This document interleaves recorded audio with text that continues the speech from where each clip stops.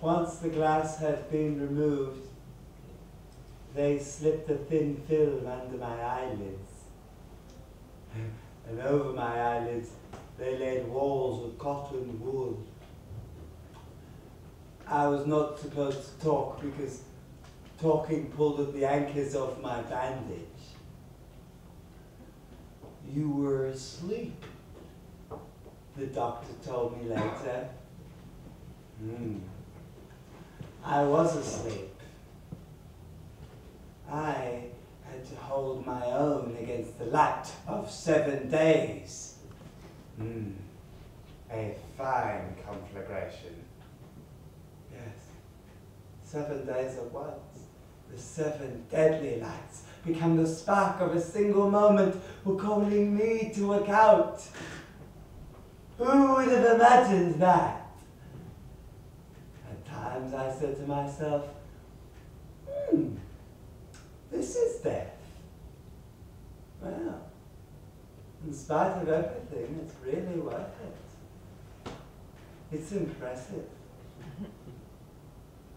Often I just lay dying without saying anything.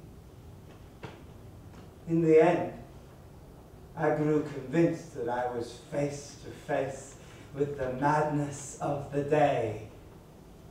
That was the truth. The brightness had lost all reason. The light was going mad. It assailed me irrationally, without control, without purpose. That discovery bit straight through my life. I was asleep. When I woke up, I had to listen to a man ask me, Are you going to sue? A curious question to ask someone who has just been directly dealing with the day. Even after I recovered, I doubted that I was well. I could not read or write. I was surrounded by a misty north. But this was what was strange. Although I had not forgotten the agonizing contact of the day, I was wasting away from living behind curtains in dark glasses. I wanted to see something in full daylight. I was sated with the comfort and pleasure of the half light. Yet I had the same desire for daylight as for water and air. And if seeing was fire, well, I required the plenitude of fire. And if seeing would infect me with madness, I madly wanted that madness.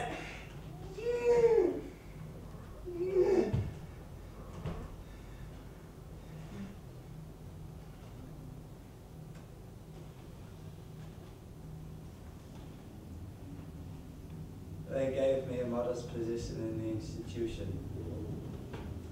I answered the telephone.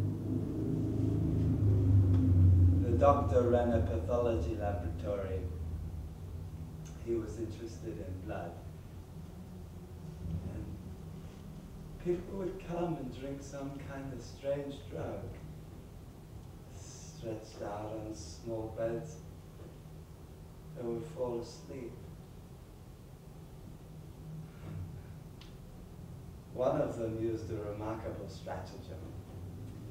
After taking the prescribed drug, he took poison and slipped into a coma. The doctor called it a rotten trick. He revived him and brought suit against him for this fraudulent sleep. really, it seems to me that this sick man deserved better.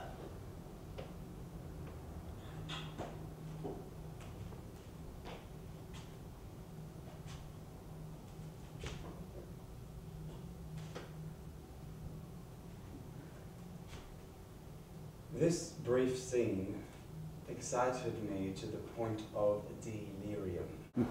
Now, undoubtedly, I was unable to explain exactly what just happened, yet I was sure of it, that I had seized the moment.